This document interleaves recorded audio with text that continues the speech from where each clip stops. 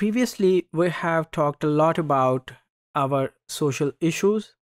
and the causes of those issues that why we are facing such issues. But in this module we are going to talk about a way forward.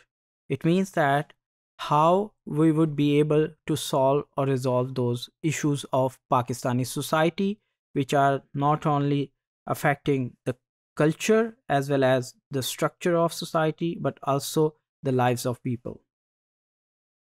So let's first talk about the economic solutions because economy is pretty much contributive to the other problems as well. So generation of job opportunities would be a way forward because uh, modern society is pretty much service oriented. Those uh, statistics reveal that the most advanced countries are having uh, a larger share of service sector as compared to the other sectors. So we need to enhance our service as well as industrial sector in order to produce a lot of job opportunities. The provision of quality education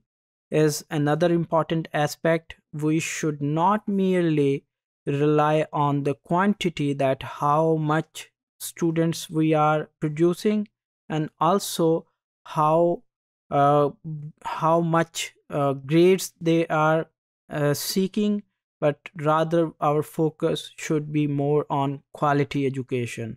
In other words we need to be focused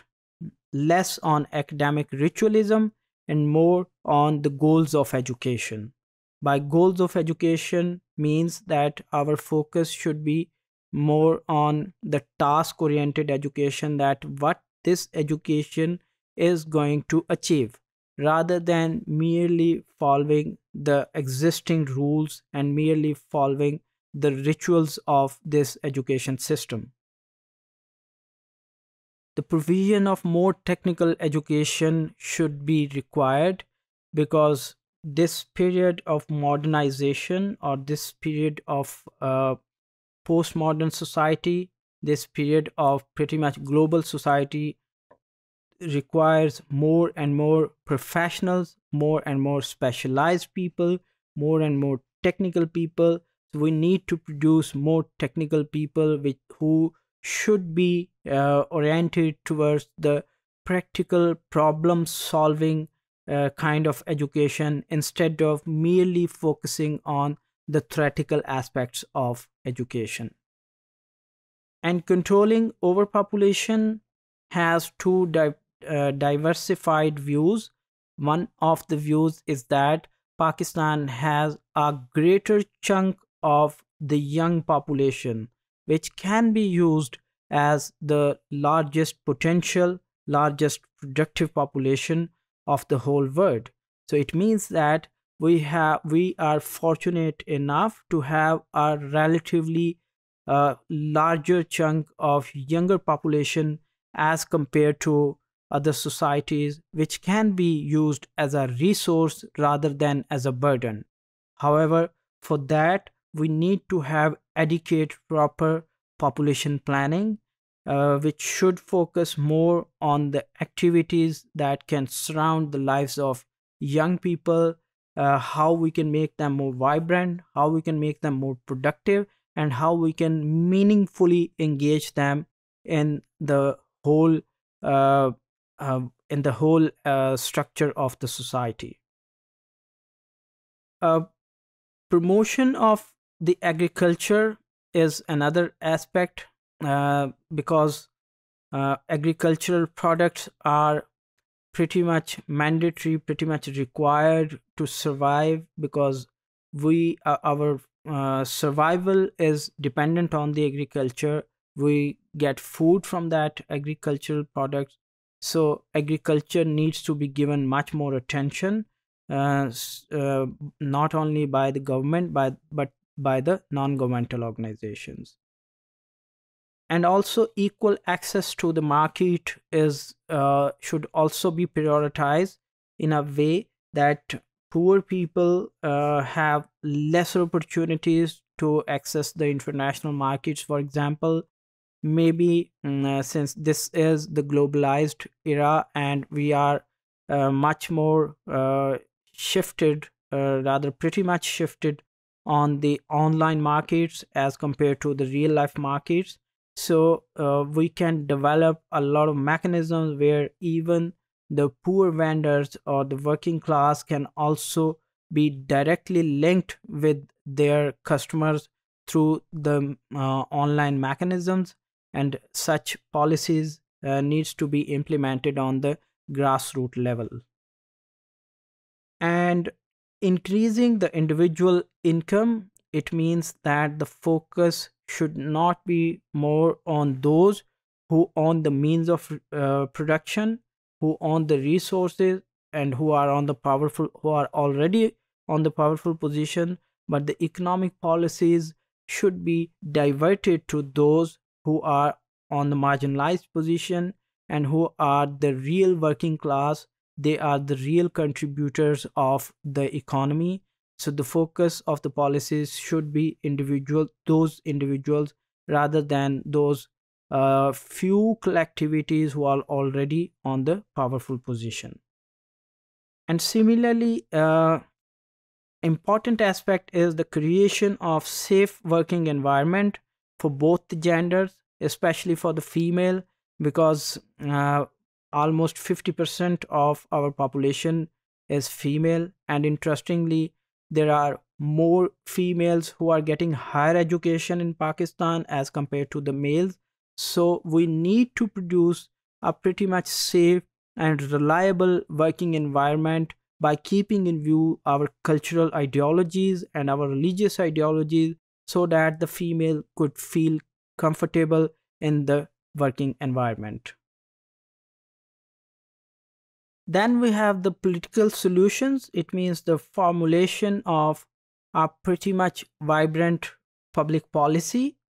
and elimination of terrorism is a must because if we do not have the safe working environment here, we uh, would be uh, losing uh, the potential of investors, the sufficient allocation of funds to the education and health is a must because these two are consequentially interrelated not only interrelated but are also related to producing the other problems. Uh, poor health and poor education would ultimately produce the citizens who would be unable to work and who would be unable to be productive. And eradication of corruption uh, must be prioritized. Why? Because it uh, discourages those who are having talent in your society and talented uh, hardworking intelligent people would lose faith on the system if they find that the merits are not taken care of so they would tend to be fleeing out of the country which means that it would create the brain drain. Uh, your best uh, brains would be going out of your country. And in order to uh, preserve those brains in order to keep them uh, uh, keep them here in the country we need to produce uh, a, a reliable environment which could be trusted by the people which should ensure the merit in the country. The establishment of training and technical skill centers should also be prioritized because today's era is more based on the practical knowledge uh, which should uh, generate um, more economic solutions as compared to uh, what we are seeing uh, that more theoretical knowledge have had been available in the books that was considered pretty much useless by the students and they often got alienated from that knowledge because it had little uh, practical utility in their everyday lives. And encouragement of multinational companies should also be prioritized in a way that they should be given incentives uh, for investing in Pakistan. And eradication of energy crisis is a must because if there is no energy available, if there is no electricity, uh, we won't be able to run our industry and consequentially would fail to meet the desired quality and quantity standards of global international markets. Uh, if we talk about the social remedies, it means the establishment of more and more schools in the rural areas and raising awareness about education, also raising awareness about water safety, arrangements of seminars for making people conformist to the social policies, betterment in the school infrastructure, and free and compulsory education should also be encouraged. And social campaigns against the illiteracy and other social menace should also be launched. Religious solutions means that to promote interfaith harmony, abolishment of hate literature, taking madrasa under the direct government control, formulation of strict policy about the hate speech, and indoctrination of the true spirit of Islam among people, and elimination of ex extremism and banning the terrorist outfits should be priority. And finally, if we talk about the educational solutions, it means that the adequate allocation of GDP to the education, mobilization of community for enroll, enrolling their children to the school, improving the infrastructure of education, imparting professional training among teachers, and the establishment of a uniform education system which should not be based on the public private but on the one syllabus education system